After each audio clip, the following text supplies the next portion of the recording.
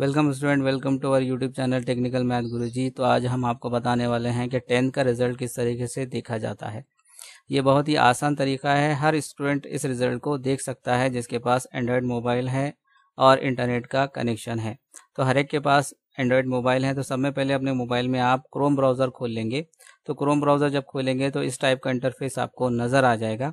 अब उसके बाद जो है आप क्या करेंगे, यहाँ पर सर्च बार के अंदर डालेंगे W W W dot maha result dot nic dot in ये डालकर जो है आप इंटर प्रेस कर देंगे। और जैसे इंटर प्रेस करेंगे तो यहाँ पर आपको इस टाइप की एक वेबसाइट खुल जाएगी। वो आपको नज़र आ रही है। तो यहाँ पर जो है देखिए एक लेटेस्ट अनाउंसमेंट आपको नज़र आ रहा है। SSC examination result, March 2020 to be announced on July 29 2020 at 13 hours, यानी कि उनतीस जुलाई 2020 को एक बजे जो है आपका रिज़ल्ट डिक्लेयर होने वाला है। तो ये रिज़ल्ट किस तरीके से देखा जाता है, हम आपको बताएँगे।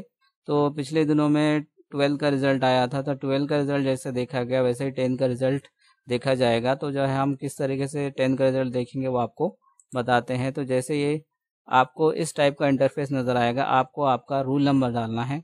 जो भी आपका रूल नंबर है L zero one two three four वो आप डाल देंगे। वो डालने के बाद जो है नीचे के जो कॉलम है, यहाँ पर मदर्स फ़र्स्ट नेम लिखा गया है। तो यहाँ पर जो है, लिखा गया mother's first name as given on your admit card आपको हॉल टिकट मिला होगा। हॉल टिकट के ऊपर आपके मदर का जो नाम है, वो नाम आपको यहाँ पर डालना है। और डालने के बाद सीट नंबर डालना है। मदर का नाम डालना है और उसके बाद व्यू रिज़ल्ट कर देना है तो आपको आपका रिज़ल्ट नज़र आ जाएगा। तो इस तरीके से बहुत ही सिंपल प्रोसीजर से आपको जो है रिज़ल्ट जो है आपको मालूम हो जाएगा। तो ये थी कुछ इन्फॉर्मेशन जो कि ज़रूरी थी। हम ये समझते हैं कि इस इन्फॉर्मेशन का आपको बहुत ज़्यादा फ़ायदा होगा।